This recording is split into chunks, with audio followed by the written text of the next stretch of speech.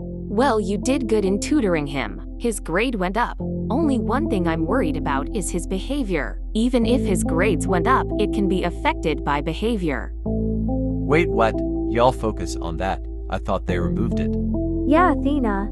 Didn't they told us that we won't have to look at their behavior? Others don't have your as well. Only for you? Ain't that unfair? It's not my law, okay? I'm only the secretary. And they told me to tell it to the head of the student council. We're fine. I'll tell him that. It won't be my fault if his actions changed. You, guys, will be the one who will change him back. Wait, what? My grades can go down if I continue to bully people. And only me. What? That's what I'm trying to tell them. It's messed up.